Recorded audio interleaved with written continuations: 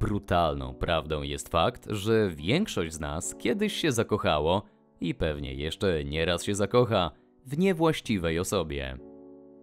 Przede wszystkim poznanie kogoś idealnego samo w sobie graniczy z cudem, nie mówiąc już o tym, żeby wystąpił element obustronnego uczucia.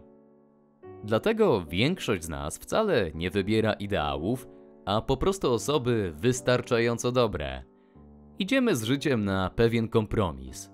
Przejrzyjmy się zatem, co nas blokuje w miłości i sprawia, że prędzej czy później każdy okaże się niewłaściwy.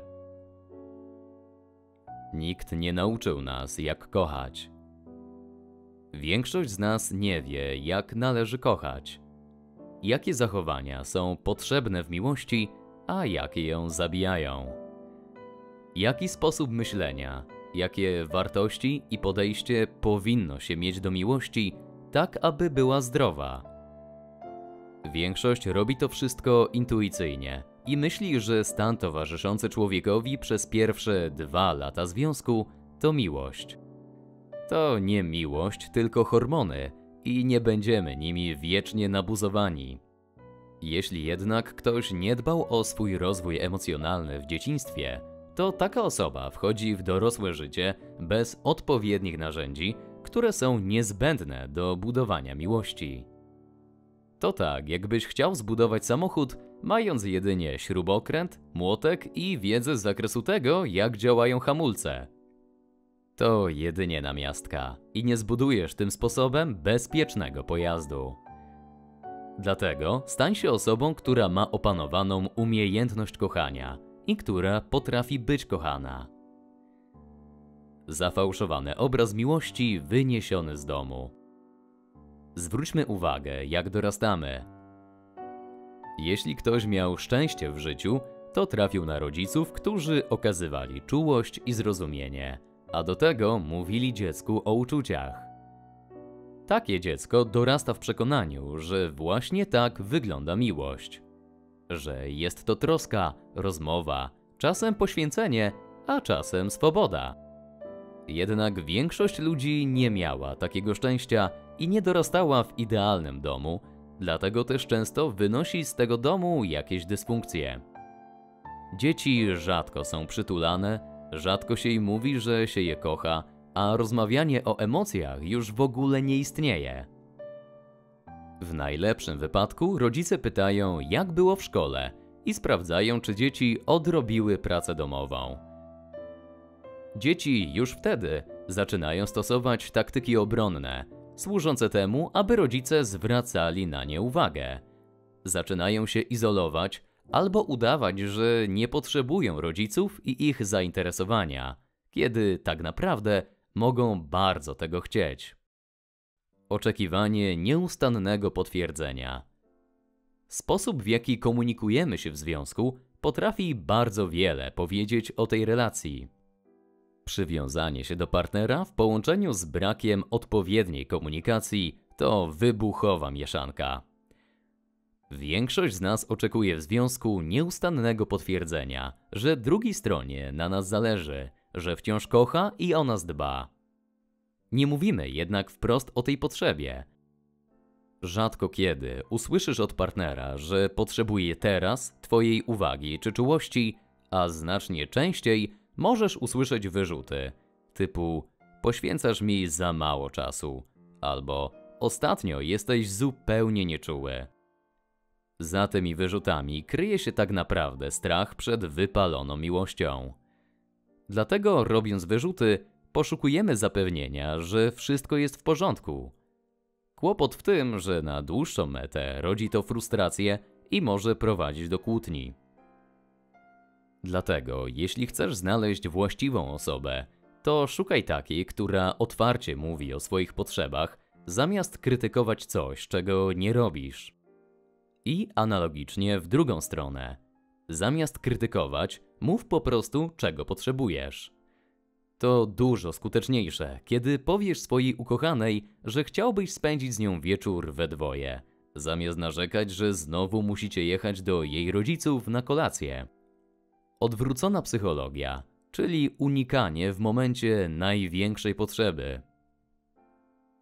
Sposobem na uzyskanie czyjejś uwagi może być wycofanie i sprawienie, żeby druga strona sama zainteresowała się tobą. Potocznie mówimy na to po prostu foch. Udawanie wycofanego, zamyślonego i przejmującego się czymś sprawia, że bliska osoba automatycznie zapyta, czy wszystko jest ok. Przyjrzyjmy się jednak, co stoi za takim zachowaniem.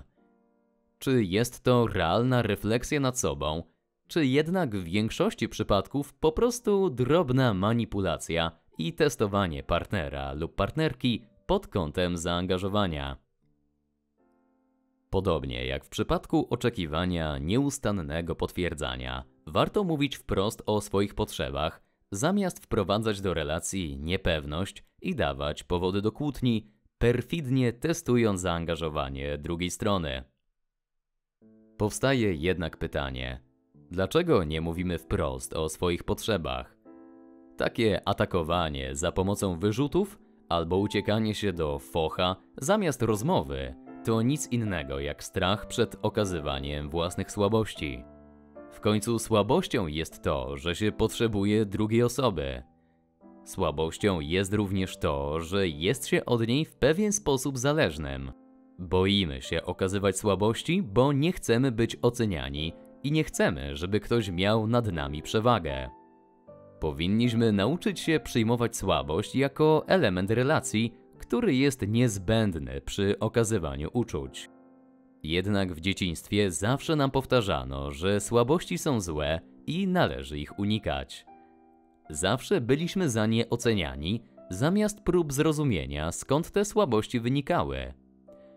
Automatycznie przenosimy ten mechanizm na dorosłe życie w relacjach i niekiedy wolimy, aby coś pięknego upadło, zamiast okazać słabość. A skoro już o wychowaniu i dzieciństwie mowa, brak akceptacji złożonej natury człowieka. Każda osoba, którą pokochamy w życiu, będzie jakimś zlepkiem dobra i zła. Psychoanalityk Melanie Klein próbowała odkryć, jak dzieci uczą się miłości na podstawie zachowań swoich rodziców. I doszła do bardzo ciekawych wniosków. Jej zdaniem dzieci poniżej czwartego roku życia nie są w stanie zrozumieć i pogodzić w swojej głowie tego, że ich rodzic może być na zmianę raz dobry, raz zły. Hipotetyczna zła mama i dobra mama z perspektywy takiego dziecka mogą być dwiema różnymi osobowościami. Dopiero około czwartego roku życia dziecko uczy się i zaczyna rozumieć, że świat i obiekty mogą mieć ambiwalentny charakter i można je darzyć ambiwalentnymi uczuciami, to znaczy kochać i nienawidzić jednocześnie. Akceptacja takiego stanu rzeczy jest niezwykle trudna. Koniec końców, każda osoba, którą darzymy miłością, prędzej czy później nas rozczaruje. Dojrzałość emocjonalna polega na akceptacji obu tych stanów. Miłość zatem to nie tylko adorowanie tego, co silne i piękne. To również akceptacja tego, co stanowi czyjąś słabość, ale również i swoją własną. Miłość instynktowna to nie miłość. Od dziecka jesteśmy uczeni, że przy wyborze partnera należy podążać za sercem i zaufać instynktowi. Często słyszymy, że za bardzo się przejmujemy, za dużo analizujemy i zbyt intensywnie myślimy o emocjach.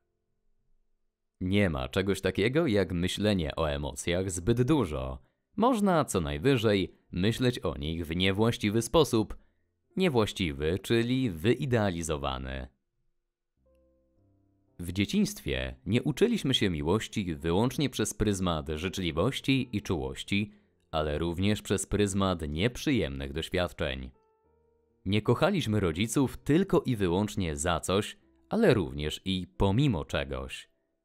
Pomimo ich wymagań, pomimo tego, że mogli czasem krzyczeć i oczekiwać dużo.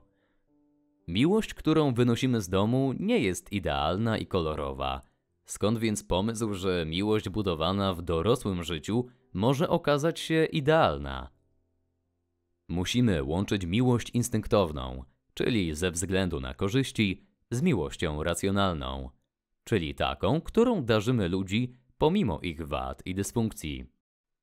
Fałszywe przekonanie o komunikacji. Żyjemy w przekonaniu, że im lepszy partner nam się trafi, tym rzadziej będziemy musieli mu coś tłumaczyć o sobie. Nie będziemy musieli mówić, jak się czujemy, co myślimy o danej kwestii i jakie mamy do niej podejście. Oczekujemy, że ten jeden, jedyny partner się tego domyśli i to będzie wyznacznik prawdziwej miłości. Tymczasem jest to po prostu naiwne. Ta piękna, romantyczna idea, że ludzie zakochani powinni rozumieć się nawzajem bez słów, jest daleka od realiów. Bez komunikacji szybko zaczynają się negatywne emocje, rozczarowanie, dąsanie się na siebie nawzajem, a to wszystko przez to, że oczekiwaliśmy rozumienia, którego nie dostaliśmy.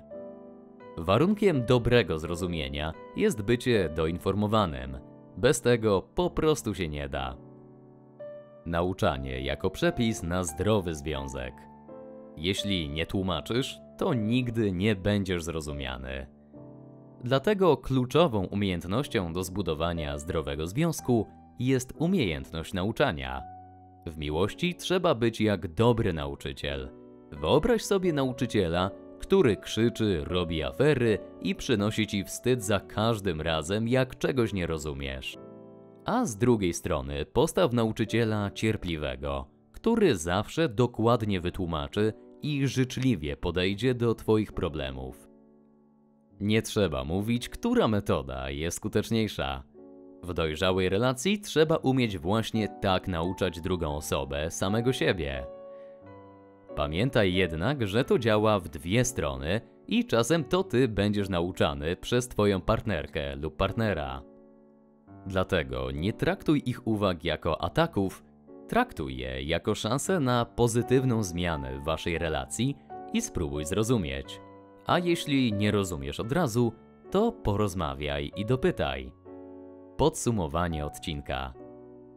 To, że zakochamy się w niewłaściwej osobie, jest niemal pewne, jeśli mamy zepsute postrzeganie miłości w ogóle. Jeśli patrzysz na miłość jak na relację bez wad, bez kompromisów, bez potrzeby komunikacji i pełną manipulacji, to każda osoba do związku okaże się niewłaściwa. Dlatego z tego odcinka dowiedziałeś się, co należy w sobie pielęgnować, aby związek mógł być udany. Nad swoim zachowaniem i dysfunkcjami wyniesionymi z domu rodzinnego da się pracować. Nie zmarnuj tej wiedzy, bo miłość to jedna z najważniejszych sfer w życiu. Podziel się swoją opinią w komentarzu i nie zapomnij wpaść na niewiem.pl. Do usłyszenia w kolejnym odcinku.